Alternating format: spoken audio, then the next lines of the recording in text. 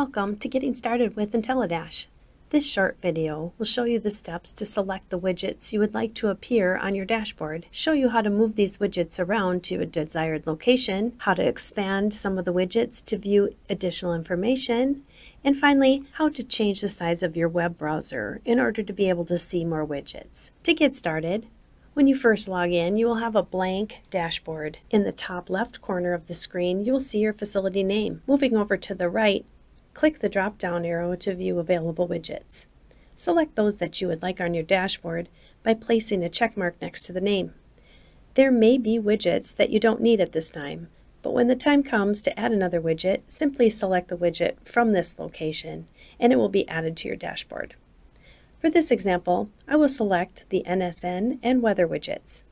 These widgets will automatically populate with data and no special setup is needed. Your weather widgets are customized to the postal code that you associated with your account at setup. If you would like to move the widgets to a new location, simply unlock them by clicking on the lock icon in the upper right hand corner. By doing this, you will see arrows within each widget providing guidance on the direction options the widgets can be moved.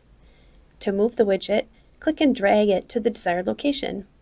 Please keep in mind the formatting may look slightly different if you are viewing the dashboard on your phone or tablet. Also, place your most used widgets at the top so that they are easily accessible when you're opening up your dashboard. When you've completed moving your widgets, click the unlock icon to lock them into place. This configuration will be saved until you unlock and move them again. Please know that your dashboard can be customized on each device, meaning what you enable on your phone can be different from what you have on your PC.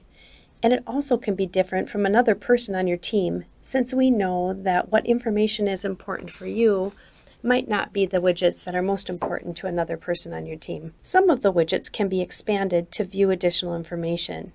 To determine if your widget can be expanded, click on the right side until you get a double arrow, and then drag it to the right to expand the widget for more detailed information.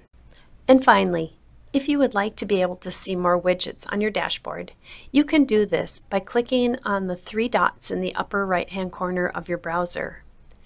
When doing this, this will display a drop-down menu. In the Zoom section, you will see a plus and a minus sign.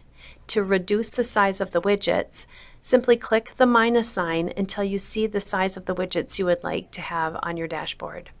Click outside of the box when you're done and your widget will be set to that size.